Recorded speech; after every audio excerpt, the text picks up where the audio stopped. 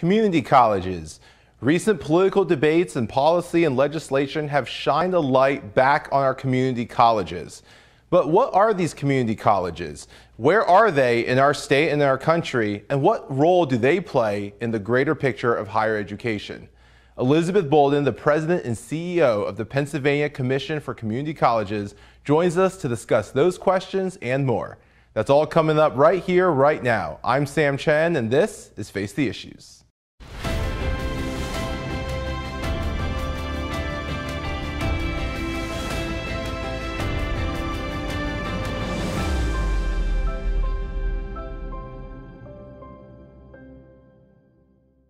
Good evening and welcome to Face the Issues. I'm your host, Sam Chen.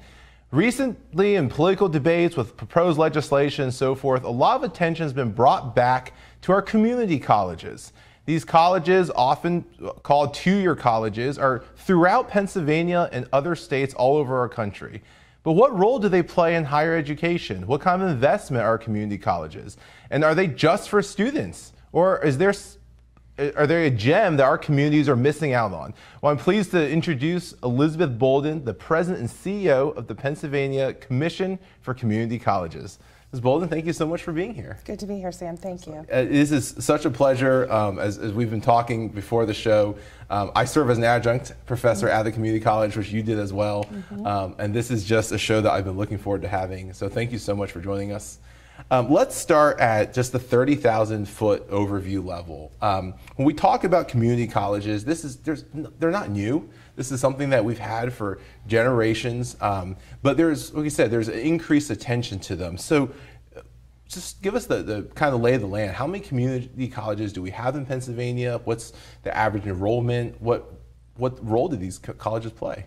Sure. So we have 14 community colleges in Pennsylvania, although they operate more than 100 sites and campus locations throughout the Commonwealth. So even though it sounds like 14 are mm-hmm. not enough to cover all right. 67 of Pennsylvania's counties, they really can.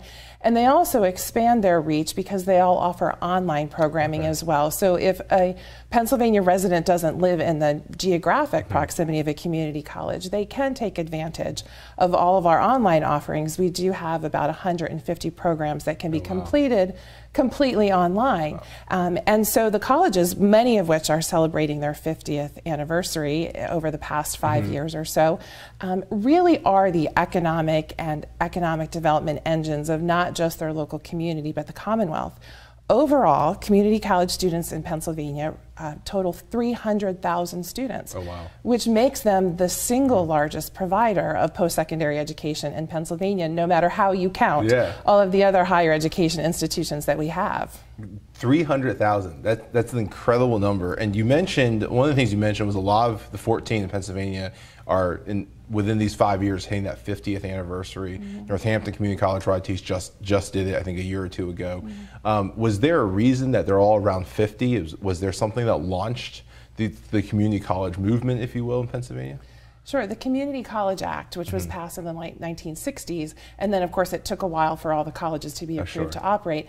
That was really the, the instigation of the community college movement, both in Pennsylvania and across the country, uh, when policymakers decided that there needed to be an alternative to mm-hmm. four year institutions because people were not able to access post-secondary education. It was too unaffordable for the sure. majority of citizens, and so community colleges were really created to fill that niche uh, for folks that could not attend the traditional four-year sector. In so many ways, they still does. I mean, I'm thinking the '60s, and they're saying colleges were unaffordable. Mm-hmm. And then fast forward 60 years to today, and it, it's so much more the case. And so, in many ways, community colleges still fill that role. There are there are obviously big differences between community colleges and, and traditional universities and, and, institutions of higher learning. Um, one of them that we hear a lot is you, hear community colleges referenced as two-year colleges, and then your universities and other colleges referenced as four-year.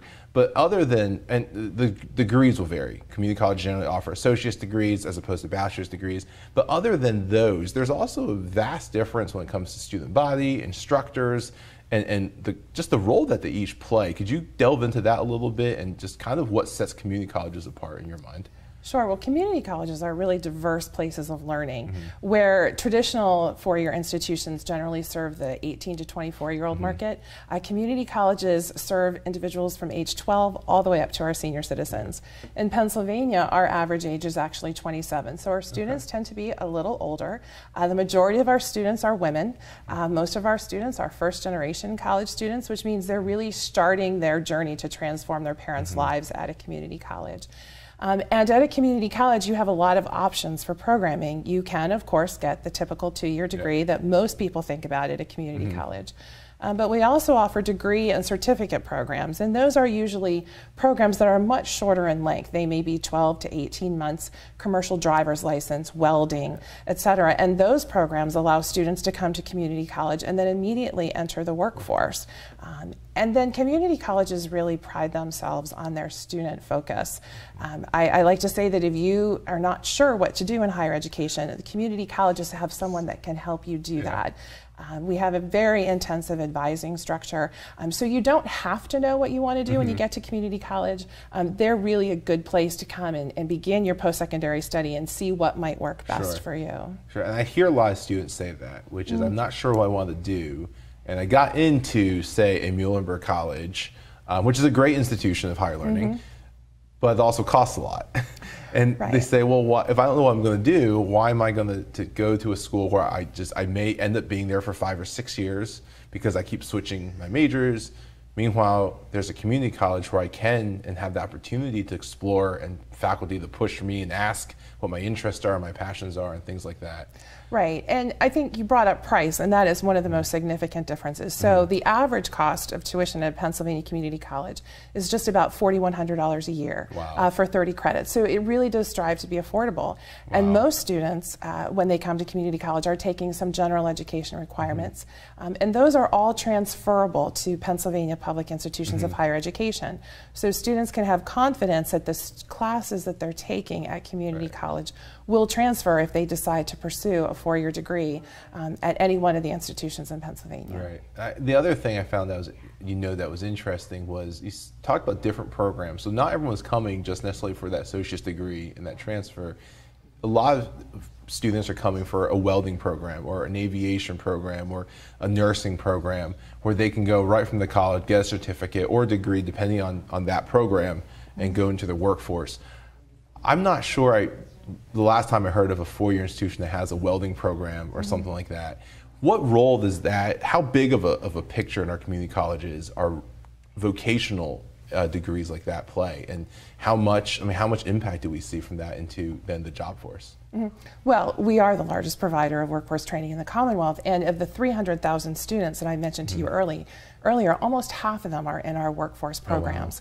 Oh, wow. uh, we are really working very closely with our employers to ensure that we are helping them create the workforce mm-hmm. that they need. Uh, we regularly meet with our employers to understand what their job training needs are. Just this year, we added 71 new programs at wow. the community colleges that are aligned with workforce needs. Yeah. They're in programs like robotics and engineering and unmanned aerial drone technology, yeah. which no one had in 1970 yeah, when we started those community colleges. So it's really a place, again, it, it serves the traditional mm-hmm. education market, um, but for folks who have entered the workforce and decided they wanted to make a change, for folks that whose employment has been disrupted for any number of reasons, can really find all kinds of opportunities at their community college that meet their family needs, their schedule, um, and their learning styles. It's a very unique niche that the community college fills in that that sense, and it's always the sense that I got for for it. Um, and I did not realize that it was almost half of our students who are doing that sure. workforce development, which is incredible. Let me ask you this: I'm sure you're familiar with the Jack Kent Cooke Foundation had a report that came out, um, and they they in the report they showed that community college students who ultimately transfer to four-year schools and specifically prestigious four-year schools tend to do better than students who go right out of high school. And the numbers exactly, um, they were saying about 75% um, of the students that come from a, a community college um, will, will graduate uh, from that four-year school, um, as opposed to 61% that transfer in from another four-year institution versus 73% that come right from high school. So the highest number of success in these top schools here locally, Lafayette College or mm-hmm. Muhlenberg College, schools like that, the, the highest percentage of success comes from our community college transfers. Yet there's a whole group of schools out there that do not take transfer credits from community colleges, that do not want to take transfer students from community colleges. One, why do you think that stigma is there? Um, and then two, if given the opportunity to speak to an administrator at a school like that, what would you say to them?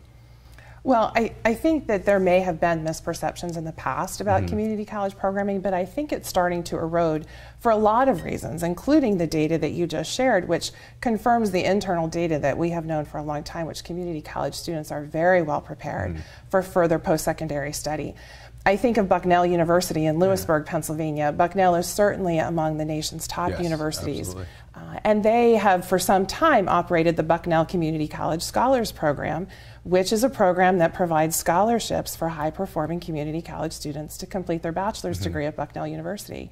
And I think all higher education institutions who understand the importance of diversity and high achieving students on their campus and having alumni that are performing at the top of their fields. Yeah are increasingly not just admitting community college students, but actively recruiting them. Mm-hmm. Uh, we know that our graduates are working at the top of their fields in business, engineering, law, medicine, um, and we know that their impact will only be amplified as we increase the numbers of community college graduates.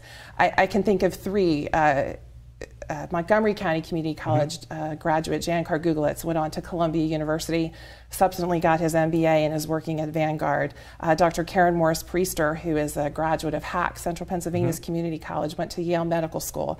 She's practicing as an anesthesiologist here in the area. Um, and Mr. Hazim Hardeman, who graduated from the Community College of Philadelphia, uh, went on to Temple and was named a Rhodes Scholar in 2017 oh, wow. to study at Oxford. So really, I think the data is clear, and yeah. as you pointed out, and I think higher education institutions are beginning to realize that uh, it's at their peril that they uh, do not accept the really remarkable students and well-prepared students that are coming from community colleges. Yeah. Last question before we cut the break. What would you say to a student who's sitting at home right now, in high school perhaps, making that debate between a four-year college and a community college, or a mm-hmm. student who is maybe in the job um, that and they want to make a career change, but they need some education to do it, and they're thinking about community college. What do you say to them? Mm-hmm. Well, I would say it's really important to take time and get resources and understand what your choices are all about. But really, if you come to community college, if you come here, you mm-hmm. can really go anywhere. Yeah, I agree. Absolutely. Well, thank you so much for that. Um, we'll come right back and continue this conversation. Don't go away. We'll be back right after these messages. Welcome back to Face the Issues. Uh, Ms. Bolden, thank you again for just your time and for being here. We were talking about community colleges and, and specifically the higher education and just the, the difference of programming that they offer from a traditional university, the difference in their student body, um, and just the opportunities that community colleges offer that a lot of other schools don't. I also wanted to turn to the community side of that term, community college. Community colleges are very much embedded in our communities. And, and that's the purpose, and that's why they were created. And they play a much larger role than simply classroom education. Um, you had mentioned earlier um, the idea of uh, the workforce development and how so much of what we do in community college is actually directed at supplying the workforce for the jobs that we need today.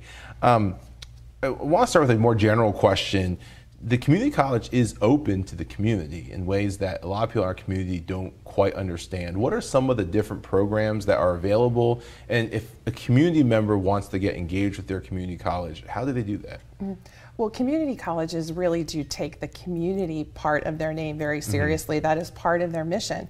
And so while they do do the traditional teaching and learning that many of us think about when we think about college, they really are integrated in their community culturally, socially, and mm-hmm. economically.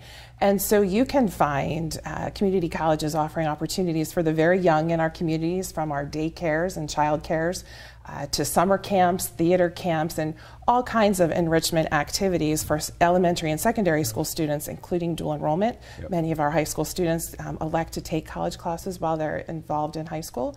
Um, and some people may not know that over 5,000 people aged 50 and over take a class at a community college every year. Wow. Uh, they can do so at reduced or no mm-hmm. cost, mm-hmm. depending on the program uh, and where they live.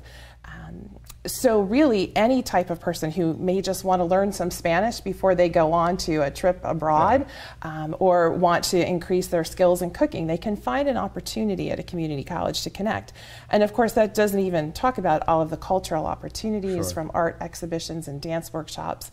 Um, and so, really, all you need to do is uh, look online. Mm-hmm. Uh, you can come to our website, which is www.pacommunitycolleges.org. We have a link to all the community colleges in Pennsylvania, or you can Google your own community college um, and really just pick up the phone and call. They'd be happy yeah. to direct you to the areas that you're most interested in. But there's also the economic impact, which mm-hmm. you alluded to, uh, which is we employ over 20,000 students individuals statewide. Yeah. Uh, that creates a lot of um, upstream and downstream industries. We add to our local communities in that way, and we also provide a public service and reduce the need on public services. For example, Northampton Community Colleges has a free dental clinic mm-hmm. um, that not only serves the community but allows the students in the dental hygiene program to get some real world experience before they get out into the job market. So, really, they are the community's college and they are very proud of that, and that's what sets them apart somewhat from other yeah. institutions of higher education. Yeah, it's you mentioned the dental clinic. Um, the other thing I thought of was the Hampton Winds restaurant, sure. which is an excellent restaurant, fine dining Absolutely. restaurant in Northampton but is run by the culinary program and the mm-hmm. students there. And it's, it's a beautiful exchange of both fitting community needs, but also giving that hands on, real life experience to the students who are there. Um, one of the things I want to ask you about, uh, uh, continue with the, the, theme of community and how these community colleges take that part of their name seriously. Um, the, one of the things that Pennsylvania community colleges have is called the KEYS program, and I find this incredibly important. Could you explain to us what the KEYS program is how, how who, to whom it's accessible and how someone goes about doing the KEYS program and, and what it does. Sure, the KEYS program is something that the Commonwealth of Pennsylvania started, and we are one of the approved providers mm-hmm. of KEYS. And really, KEYS is about providing supports uh, to parents of, of children who are not working to really provide them the educational opportunities to change the trajectory of their lives. We know that when you're a single parent, you are juggling a lot of responsibilities, yeah. and it can sometimes be hard to think about how you can pursue an education. And so, when students come to community college and they're eligible for the KEYS program, which allows them to fulfill federal work requirements by attending college. There are uh, eligible to access a whole host of support services, be it transportation, housing, food, daycare, childcare, transportation, tutoring, uh, that really allows them to access and complete post secondary study, which we know is transformative yeah. um, for both themselves and their children and their family. Uh, so we are very proud of our KEYS program. Uh, there are thousands of, of people that take advantage of that program. Um, and again, by calling your local community college, you can find out more about the program at that school. How how many do you? I mean, I don't know if there's an estimate, but how many people do you think are, does it seem like are taking advantage of the KEYS program? And um, it varies um, by college, but the, mm-hmm. but there's a good number. Yeah. Um, I, and then to your point earlier, mentioning just the diversity of the student body at these community colleges is always neat for me to see. I got high school um, dual enrollment students mm-hmm. in the same class as some of these single parents, um, and I always I remember one time we had um, school got canceled for some reason, and so my students emailed me. I said, "Well, just bring your kid to class with you." Mm-hmm. And it was the most adorable uh, little guy that I've ever met. It was so well behaved, and uh, it was just a really neat thing to see that this this kind of opportunity is available mm-hmm. and, and, built into to our community colleges. Sure, we often find that students find that their community college is their family. Mm-hmm. Uh, it's their extended family, um, and the professors at community colleges are among the most engaged you'll find. What makes them different from four-year institutions is that while many of those professors do do research and can mm-hmm. do research, they're not required to do mm-hmm. research, um, and so they are really able to focus on their students, helping yeah. their students become engaged in their course coursework, finding them in internships, and finding them job placements sure. after they leave. Sure. And a lot of them also are, um, in the adjunct world, are actually professionals in those fields that their students mm-hmm. want to go into. And I've also told my students just take advantage of that. Ask, ask them for advice right. and career advice because they're, they're there, they're doing what you want to do five or 10 years down the line. Mm-hmm. The Pennsylvania community colleges are also taking a, a, very active role in the opioid crisis. And this is a crisis that I also say it's a national crisis on a local scale or it's a local crisis on a national scale where across the country everyone knows it everyone knows i'm impacted by it but it's a very local issue at the same time that impacts our families and our next door neighbors what is the role that the community colleges in pennsylvania are playing in, in this crisis and in, in helping to facilitate um, recovery or whatever it might be? Mm. Well, our approach is really two pronged. And the first is making sure that students that may be struggling or that someone in their family is struggling have access to resources. And so we're sure to provide those resources to them. And then when they are, are no longer struggling with that issue, we make sure that they have supports on the campus when they decide to pursue post secondary study.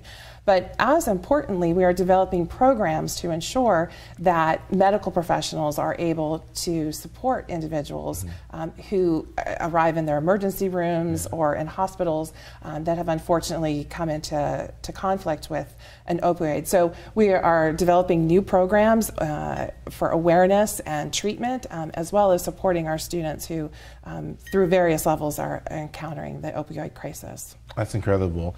Um, let me ask you this as, as, we kind of close out this segment. Um, you know, we, have been talking about community in, in, the truest sense of the term and the engagement that these colleges have in that community. What would you say to a community member? Just earlier talk what would you say to a what would you say to a community member who is looking for something to get involved in or, or considering potentially taking a class? I think there's a lot of misconceptions about the accessibility of these colleges, or do you have to enroll as a full-time student? Are lectures, um, some of these school events, are these free to the public? Mm-hmm. What would you say to someone in our community about how they get involved and, and whether they should? Right. Well, I would say you should definitely check it out. Uh, community colleges are open access institutions, which means uh, you don't have to have a certain score on the SAT. You don't have to have uh, a certain GPA. Um, we are happy to educate anyone who's seeking mm-hmm. to further their knowledge through any type of education whether it be, again, the traditional associate's mm-hmm. degree or certificate, diploma, or a non credit program. Um, so, really, we know the benefits of online learning and uh, of all learning. I'm sorry, online learning right. has benefits mm-hmm. too. Um, and, and, so, folks should just check out their local community college, whether it be uh, through a formal application or whether they just want to become involved um, in one or two programs that are available to them there. That's great. Thank you so much for that. Don't go away, we'll be right back. Welcome back to Face the Issues. Um, Ms. Bolden, one of the things as we continue this conversation um, that is both important to you and me is taking care of our veterans and something across the country, across the Commonwealth that everyone is, is very much in tune with. Our community colleges are uniquely positioned to do that. Can you talk about some of that, those veterans programs, and just some of the benefits for veterans coming to our colleges? Sure, veterans do come to community colleges in great numbers. Over the past five years, over 24,000 veterans have enrolled in community colleges, and I think there are two main reasons for that. One, um, our colleges are veterans friendly. Mm-hmm. Uh, they have the, the official military designation of being military friendly schools. All of them have dedicated support individuals to help veterans navigate the process and their benefits ensure they're successful. Um, but more importantly, we recognize that our veterans come to us with skills that mm-hmm. they have learned uh, over their military service. And so we offer them credit for those skills and we don't make them retake courses. So we know, for example, that if you're a medic in the military, you don't need to take first aid when you come to community college. So um, in higher ed, it's called uh, credit for prior learning. Mm-hmm. And we are really proud of the way that not just for veterans, but for all students, if you come to to community college and you have a set of skills, we're happy to evaluate those skills and give you credit for what you already know. We want you to spend your time and your money learning new things, right. not relearning things that you've already mastered. Right. That's a neat perspective that the learning doesn't just take place within the four walls, the confines of a classroom, mm-hmm. and that what they've learned in the military or elsewhere translates into classroom credit. Sure. Um, community colleges also accept the GI Bill, I'm yes. saying correctly, right? Mm-hmm. And so for, for veterans who are looking for a place, especially if they're trying to explore what those next steps are, it becomes a, a perfect place for them to invest in and, and be able to get that guidance and education. Mm-hmm. Let me ask you this as we close out 14 colleges in Pennsylvania. I won't ask you to pick your favorite. But what are some of the features of these colleges that really stand out to you? Um, and what makes, why do you love what you do? What, what makes you proud of these 14 colleges in our state? Uh, what makes me proud um, is our students. And when I have an opportunity to meet with them and they tell me how much their community college experience has made a difference in their mm-hmm. lives.